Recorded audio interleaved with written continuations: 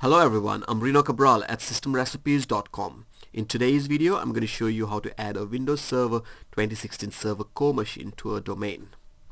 So to start with, if we just go to our Server Core machine, if I just quickly log in,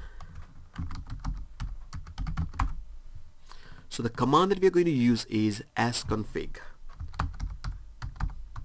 So if you just type in sconfig and press enter, in server configuration, it will allow you to change different configuration for the server computer. In this video, we will change it from a workgroup to a domain. So if we select number 1, at the bottom it says enter the enter the number to select an option. So let's enter number 1 and press enter. It will then ask you if you would like to join it to a domain or a workgroup. It will ask you D for domain and W for a workgroup. So I'll enter D and press enter. It will then ask you for the domain name. For me, it's systemrecipes.com.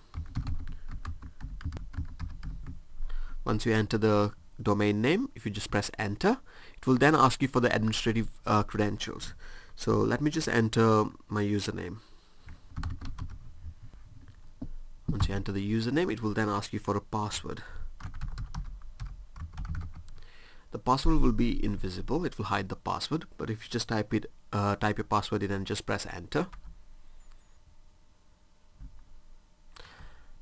Then it will ask you if you would like to change your computer name. I would just say yes and change the computer name. I'll change it to server core and press enter. It will then again ask you for the authorization. So I'll just enter my administrative username and password.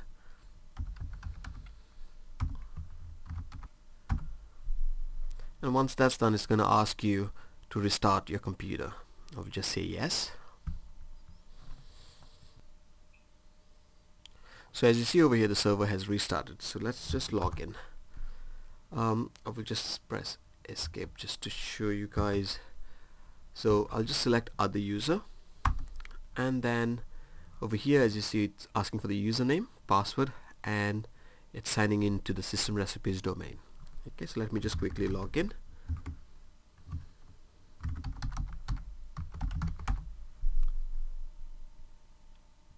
there you go. I've logged in with my admin credentials from, from the domain. I can also show you the Active Directory users and computers. And if I go to my computers you can see server core has been added.